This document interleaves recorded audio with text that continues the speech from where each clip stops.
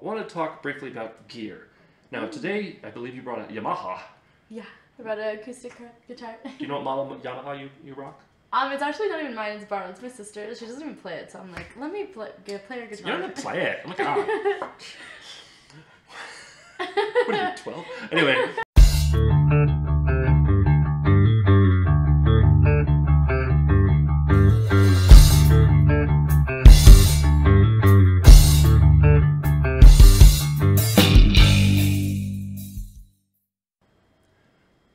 Room 6, the channel dedicated to the local music scene and the people that make it, including me and my guest.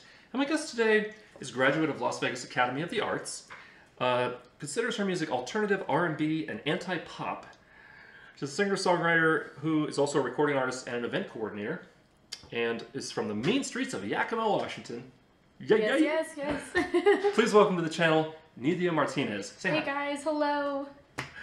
So, first off, right off the bat, you moved from Washington to Vegas?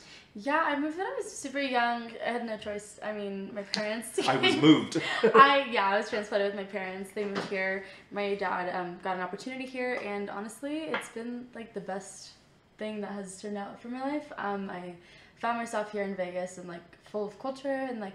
Um, at the time when I was growing up, the music scene hadn't really been established, so it's been really nice to see it like being cultivated. It definitely is growing a lot. Um, Mm-hmm. A lot of that has to do with things like showcases and open mics. Shout out to House of R. Yeah. Um, but also just people. I think quarantine kind of made people hungry again for live music. Of course, both, yeah. both making it and and watching it. Um, I remember those first few shows where you could go again, but with a mask, and it was packed. It didn't matter what you played. Oh my gosh, I'll never take live music for granted ever again. Right. Now we met at uh, speaking of House of R. He run uh, he runs the Homegrown Songwriter Showcase, which um, has recently been uh, at the Strat on Las Vegas Boulevard. We met there. Yes. Uh, not the last one, but the one before that, I believe. Right. Yes. And it is currently on hiatus for Mother's Day, and also uh, while they they're figuring out what they want to do with it. But hopefully there'll be more. So Yes, So we hope stay so. That was a great venue. it is awesome, and just the whole concept of the Songwriter Showcase is awesome. sure. Uh, Hal's doing a really good job of, of helping to grow the local scene that he's part of, and, and um, he's he has me there to live stream it. If you don't know that already, please consider subscribing, ring the bell down there, and that way you won't miss out on any future live streams or future videos where I also review the live, the showcases.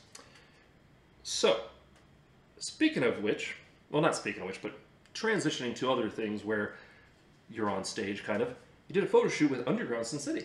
Yeah, yeah. So uh, it's actually a magazine that's out of Simi, um, California. Uh, my dad is actually from there, so they it was just kind of an interesting connection. Wait, wait, wait, wait, wait. They call themselves Underground Sin City, or they were doing a Sin City up. As a Sin City edition. Okay. Yeah, yeah. So. There you go. Because I was confused. I was like, what Oh the yeah, heck? yeah. So so the name of the magazine is called Underground Magazine, and the edition I was in was called Sin City. Um, so they basically interview like local artists. Um, they had originally done all in California, but Mm-hmm. now they branched out to Las Vegas. I think they're doing like Boston next. Um, but it was a really cool experience. I got to um, have my own magazine spread, and then we had a performance too. Do you remember who was in that uh, edition with you? Because Yeah, there was a group so- shot too. Yeah, yeah. So we had we had a bunch of different artists. So um, the female artists were it was Karima, also Zelly Vibes, and then myself, um, and then we also had other rappers as well. Right on. If any of you happen to see this and want to be on the show, hit me up down in the description. Yes. Uh, so the reason I brought that up is what was different about being having an actual photo shoot and performance versus just showing up and playing. Oh, okay. That's that's a good question. Um, That's why I asked it. I enjoyed the aspect of the personal touch. I feel like they took a lot of time and consideration to really curate um, how we would like to be presented, and the performance was awesome because of the community that they built around it. They had people come in from California as well um, to support the show, so that was a really good aspect. Um, but yeah, I mean, it, and it's also like a very big support group too. They still like and comment on all my stuff, and yeah, it's just it's a really good, Right really good time. No, so the performance was here or the performance was in Sing? It was here in Vegas. Oh, right on. Where was it? hmm It was on Sahara. I'm not sure the venue's name, but it was like a yeah, a little studio. Oh, right on. Cool. So, I want to talk about a shared history we have. Mm, okay. Former choir kid. Oh my goodness! Don't even get me started. I love choir. I, I I grew up in the Catholic Church, meh, and uh, I, I went the whole nine yards with you know an altar boy, and I was confirmed, and I was choir, and that choir too. experience though, uh, combined with a love of dance, kind of started Hmm. me down the whole performing arts route. Wow. And I was wondering, uh, hearing your music, there's definitely a little bit of I can I, I can hear anyway. I'm like, hey, that's from choir. I hear I recognize certain things that, that Oh you were goodness. taught. Yeah, I mean that's like the foundation of who I am as an artist. I'm classically trained um, at LVA, Las Vegas Academy. Oh, that's right. Forgot we about that too. definitely we definitely like were heavily it was heavily ingrained in us to do um, choral music i was always a fan like i just really loved the um, concept of making music collectively like with one like certain goal in mind um, and i'm also a vocal coach right now so like a lot of my uh, technique is like transferred into others as well Right on. If someone wants to uh, take lessons with you, i am let me know no, how, how would they do that? um, you would go to school of rock because I, I teach at school of rock here Oh, do you? Yeah, yeah. Which one? The one in Henderson or the both one? Both of them Awesome. yeah Uh, I'll be including a link down in the description for that. You must. Do you know Lizzie Ott? yeah Yes. Lizzie Ott. She's so super busy. She can never come on the show. I want you on the show. Come on. Uh, anyway, um, vegas is small it's crazy it's small, but at the same time, I'm constantly like, I don't know this person. I don't know this actor. I don't know You're this actor. them, yeah. Yeah, that's why I love this channel. Um, this next question I'm going to ask you Mm-hmm. often when I'm editing gives me a list of like, oh, let's look them up. Earliest musical influences. Oof, this is like one of my favorite questions. Beautiful. What is that artist or genre or, or performance or whatever? What was it that made you say, I want to do that? I want to try making music. Okay, like to start, like Yeah. when I was young, Earliest. what the earliest? Mhm. Oh goodness.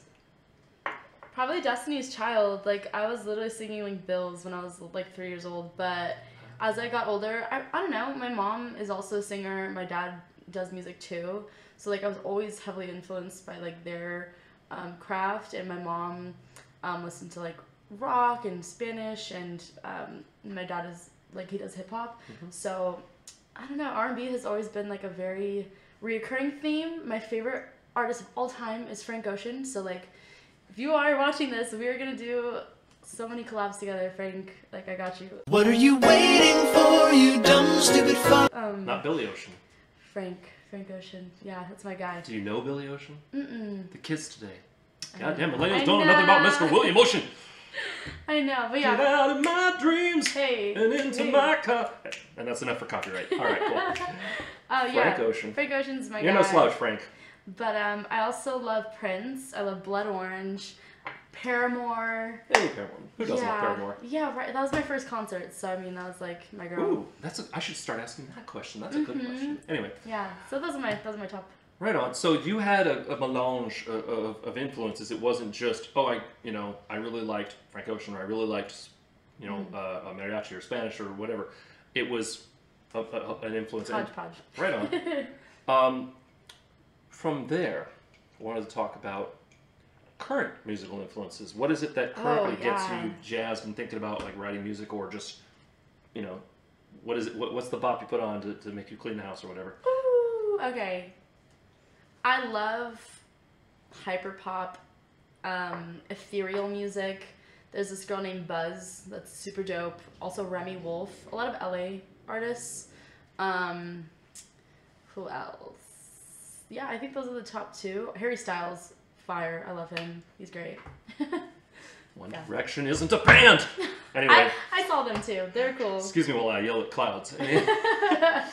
anyway, uh, no, Harry Harry Styles he's no slouch either. But um, I see again. You just mentioned two acts, uh, Remi and uh, the first one. Buzz, yeah. Buzz that I I'm gonna write that down when I'm editing this because never heard of them. Oh yeah, listen to them. They're Also, cool. they never heard me either, so you know.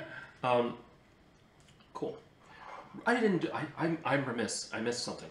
Welcome to the channel. Oh yeah, cheers. Clink. the cool mugs. With our branded room six. Speaking of branded, you may notice I got a mission statement. there you go. back. I love that. Support local music. If you would like to support the channel, which actually supports the scene, because of ways I've talked about in the past, uh, please consider going to room6.shop, pick up some merch. I got all sorts of stuff for summer. I've got all sorts of stuff for your mornings and for the winter. Uh, it, it will really help out the channel and help out the local scene. I am very close to announcing something very exciting where uh, I'm using some of the Room 6 money that's been happening, either Patreon patrons or merch or buying my own CDs. Uh, there's a link for that in the description called you know Room 6 social media where there's different ways you can support the channel. And please definitely subscribe and uh, ring the bell because this I'm excited. I'm excited about this announcement, but I'm waiting until probably middle of June because it's going to happen in July. So Oh, yeah. that being the social media thing to do is wait. So moving on. Pitch sales pitch over. Moving on. Let's talk show memories. Now Show memories. I've only seen you perform at the showcase, Ooh. but you just came from a gig. yeah. So, are, are you also involved with the band at all, or do you Um, have a backing band? I like source local musicians as much as I possibly can. She's got a stable of, them to call. yeah, I, all my friends are creatives. Like I, right on. I um, So, regardless if it's just Nidia, Mart- Martinez, which is not nothing, or as a group or whatever, what is your favorite memory from being on stage and something that happened that either Oh. was crazy or just, or that was that checks off my little rock star moment or or whatever. my favorite memory on stage would have to be. This would like probably go back to like 2016 when I was a senior in high school. Um, I went to Barcelona with my choir and we performed in cathedrals. Um, Wow. Yeah, that was just an existential experience. It was just beautiful. Um, it was just yeah, it was just great. I think that, like I said earlier, like making music collectively with people has always been something that I really love. Um, and just like the acoustics, like, are you kidding me? Well, they're built for choral music, so yeah, Yeah. you're you're doing what you're supposed to do in that space. Exactly. You're not in there trying to play punk or something. Yeah. right. So it was it was a great experience. Um, but other than that, I mean, I love playing every every venue here in Vegas has been really cool. Um, I know like Taverna Costera has been holding a lot of open mics. Um, Shout out to Jeff. Shout! I love Jeff. And You're Nevermore awesome. Productions. You're so cool. Yes. Um, and then also, who else has, has open mics? Like Ninja Karaoke has open mics. Um, Ferguson's Downtowns is super like they're so good about booking local artists. Ninja Karaoke Um, has open mics because I walked by there while I was waiting for Taverna Costera show to start, and I was like, "Oh, it's karaoke club." Yeah, realize so that it's they also- have um, the Jam was there previously. I'm not sure if they're still there, but they had one like every Wednesday or something like The that. The Funk Jam? Um, no, it's just called the Jam. Right, I thought that was uh, funk. Mm, it's, I think it's a different person. Like the host name is actually Jam. So Oh, okay. Yeah, I got you. they're Okay. cool though. They've been really good. Um, but yeah, I, I've I'll have to check that out. a bad experience here. Put that on the list for uh, future Josh. Put that on the list for venue reviews. Yeah. Right on. Cool. So you actually kind of touched on already on leading from favorite show memory to favorite Vegas venue. Hmm. It's hard to choose nowadays, but what is the one? And this is for just looking or like looking, looking at music. This is one for for watching a show or for performing. What is the favorite one? What is the one that just in your mind is like, man, that that place really is the best place. Honestly, I like Brooklyn Bowl or um, Ferguson's. Like those are. Yep. I haven't heard top. Ferguson's here, but I've heard Brooklyn Bowl a lot. Mhm. I have yet to be inside that place because every time I think I'm gonna go, something comes up where I can't go to a show in particular, and every time I'm in the area, I'm like, I'm gonna swing by. Private party. Yeah, it's like it closes during the day. It's like an interesting interval. Right, but- and then quarantine. So yeah, I was surprised it was still open to be honest. But uh, I understand that they have really good fried chicken. Oh, never had it. Yeah, I had uh, Kel- have fried chicken. I had Kella T from Dead Money on here. I'm, su- you know Kella? Kella Mhm. Bobella? No. Yeah. Okay, she's been on the channel, and she performed there, and she was saying how in the green room it was like the waitress came in like it was just another Tuesday pile of the best fried chicken you ever had. Move that p- plate of pot over and just put the chicken down. I Love that. and uh, yeah, like Brooklyn Bowl apparently knows what musicians want, Yeah, I mean, who doesn't want fried chicken? right? but I just thought it was funny. It's just like just move the plate of pot over. yeah, a plate. I've never been in a green pot. room where there was a plate of pot. Honestly. I mean, House of House of. Blues in their green rooms. Have you have you played House of Blues at all? Yeah, I played. I played um The the B the B side, and I've also played the foundation room. I was super young. Okay, because down the the big stage downstairs, um, I got to do. Uh, I got to play there. Oh yeah. Three green rooms, each one with a shower. Right. Wow, that's high class. Well, they got you know Snoop Dogg and everybody coming in, and, be, and because they have people like Snoop Dogg coming in, at least the one we were in, giant hood in the ceiling to just suck it all out. Yeah. Like yeah. I went in, I was like, that's the As they should. biggest vent I've ever seen, and and yeah, Makes sense. yeah. It, but it was it, the sound. My personal favorite venue to perform at was House of Blues. Number one, it's the cachet of it. Yeah. You know, you're just like, hey, House of Blues, rockstar moment, bing. And number two, it's such an elevated stage that you're, you know, if there's a crowd there, you're playing. It, you feel like you're you're, you're a rock yeah, god. You're on the platform. And soundboard out there, sound guy to the left. Nice. You hear everything on stage because you got two people coordinating and then the lighting. So it really was one of those I wish I was in the crowd to see myself play moments. Yeah. So all right, Been on. there, been there. So moving on from we've we've done um, favorite show memories and we've done also favorite venues. I want to talk briefly about gear. Mm. Now today I believe you brought a Yamaha. Yeah. About an acoustic guitar. Do you know what model Yamaha you, you rock? um, it's actually not even mine. It's borrowed. It's my sister's. She doesn't even play it, so I'm like, let me play, play her You guitar. don't have to play it. Oh my god. what are you, 12? Anyway, um, so, okay, you don't know that much about that. It, it, it sounds nice, though. Yeah, But I, I saw you at, at the showcase playing a uh, red guitar, I think? I have a pink, A pink guitar, that's right. Yeah, Squier. she's new. Her name's Piora. Right. Um, but I I really like I don't know. My favorite guitar brand is Gibson. One day I will get that. Um, but I've also I always Sponsor her. yeah please. I've always played Fender Mm. guitars like Strat Stratocasters. I prefer the Fender body style. So even if Mm. it's a silver tone or some other body, or I mean some other uh, manufacturer, I like the way it nestles in. Yeah. Gibson's, uh, you know, the Les Paul body or a Gretsch, to me, there's too much in the way. Yeah. I, I've tried a lot of different stuff, and, and I always come back to that nice little curve and the cutaway. Mm-hmm. And even my, my acoustic I use is a cutaway. It's an Ibanez, but uh, Oh, nice. I just, I'm with you. I prefer the Fender personally, but Gibson, It's just that, that timbre. Nice. Yes. Hey, there's the LVA. there's there it is, the timbre. So, uh, is that where you learned the runs? What is it? The- The run. Oh yeah, I mean that's runs. it's just R and B. Like I that's my bread and butter. Anti-pop. Yeah, and honestly, like my music kind of, I have like one of every genre out right now, like as far as singles. Um, so like, in creating my next my endeavors, I think I'm gonna really attenuate more to my style and like see what I like because I don't know, like I just want to like figure out who I am as an artist, you know? Right on. Those are big words you used. Yeah. Uh, real quick, what is the newest single? my newest single is "Lonely." It came out in February of 22. 222. Uh, cool. I, I will make sure to put links down in the description for her social media so you can go check it out. Um, and um, is it on? Was it on uh, Bandcamp? Everything. It's, on everything. Yeah. Okay. All platforms. Right on. So we're almost done. Two more questions. Okay. You made it. Yay. Let's so go. number one, I want to talk about what do you think is the most important thing to, to, to realize when you're a new musician? You know, if you were giving advice to a new musician, what is the one thing you wish someone had told you? And don't say change your strings.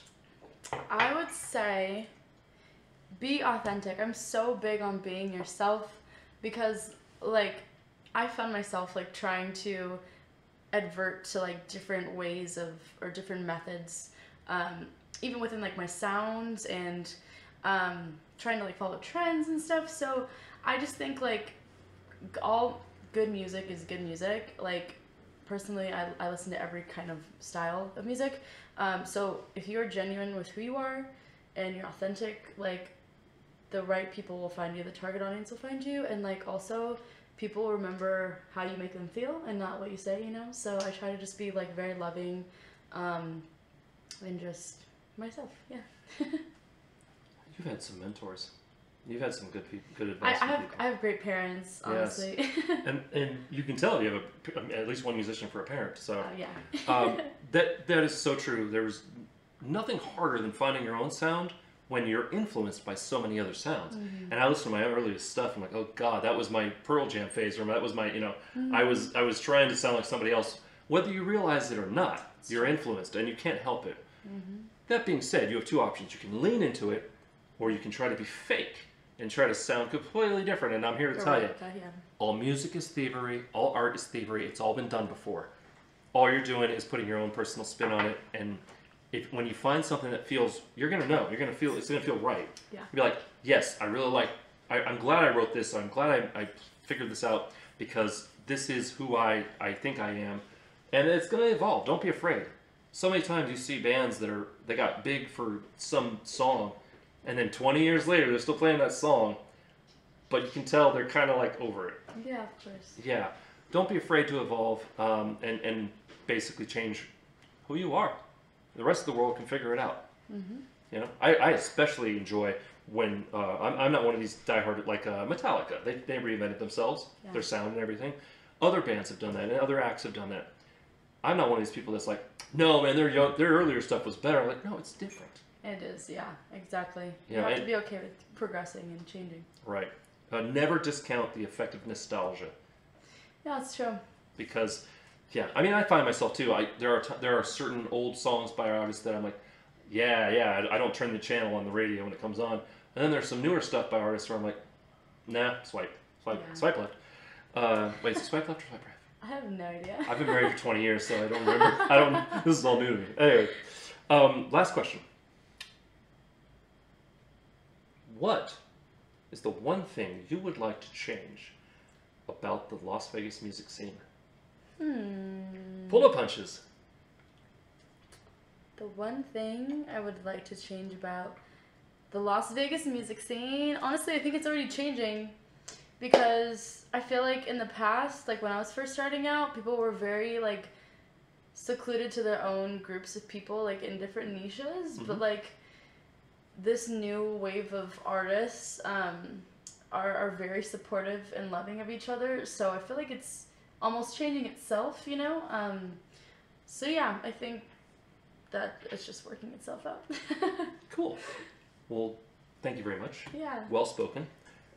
Thank you for coming on the Cheers. show. Thank you so much for having me. This has been awesome. No worries. Stick around. We're going to see young Nidia upstairs in room six performing a couple songs at least.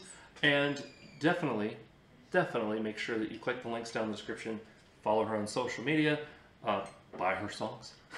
Please. Yes. In the meantime, we're going to temporarily say goodbye. Goodbye. See ya.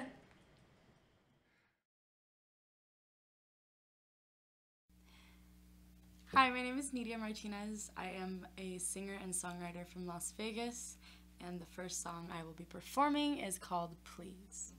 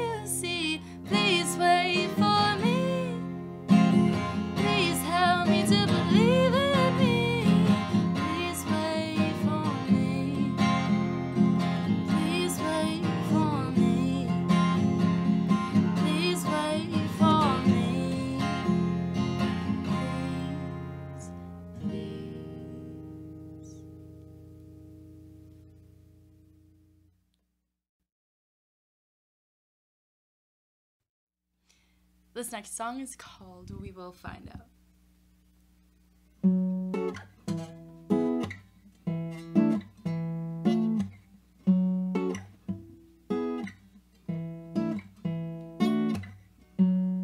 So self esteem on greater things. You find a way to figure it out. So self assured, you're never bored. You find a way to let it all out. We will find out. We will find out. Where you come and where you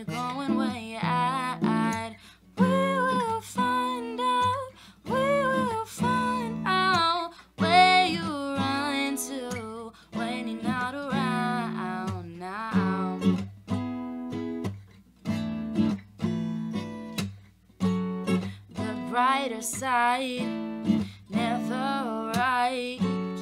I went along without knowing my rights, but you suffered long. You got trauma bonds, so I managed to protect my fragile state of mind. We will find out. We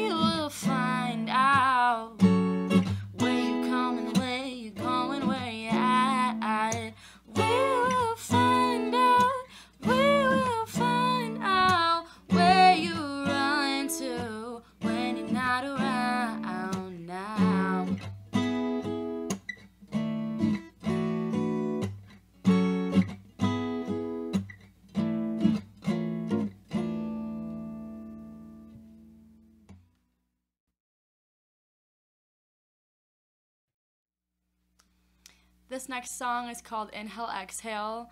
Um, just a everyday reminder um, to just keep pushing forward.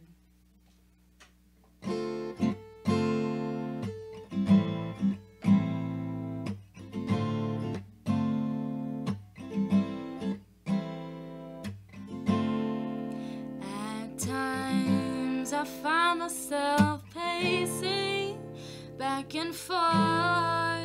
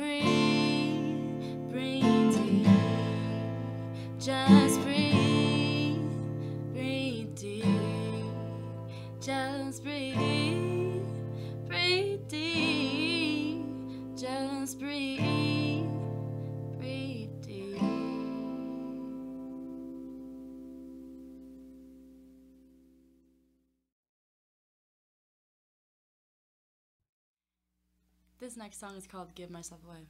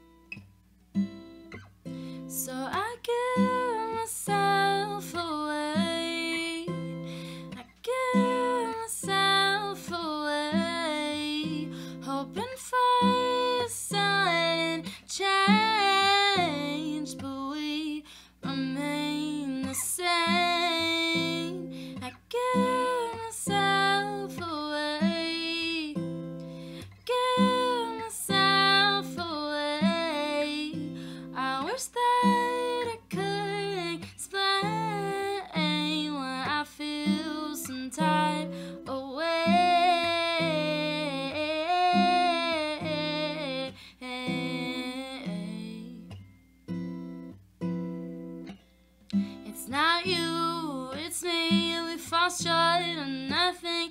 Aggravate my being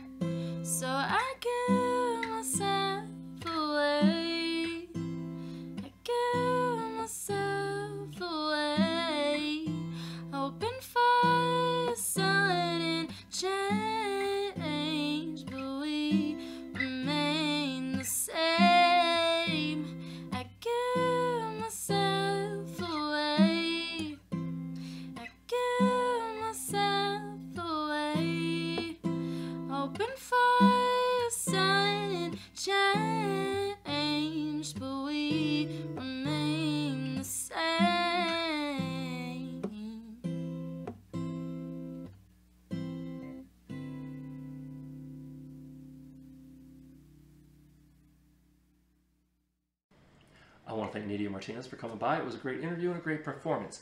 If you want to be on the channel, please consider hitting me up in the description, either my email address or the social media links. Tons of ways you can get a hold of me. Come on, we'll have a good time. Number two, if you want to support the channel, hit that social media link down in the description and maybe buy some merch at room6.shop. Become a Patreon patron. I've got patron only content. Uh, or how about buy one of my CDs? I made them, you might as well. Um, in the meantime, if you want to see more videos like this, please click up here. And if you'd like to subscribe, it would really mean the world to me. Please click down there and don't forget to ring the bell. Remember to be amazing, and we'll see you next time on Room 6. Say goodbye. Bye. Ba-da-ba-ba-da-ba.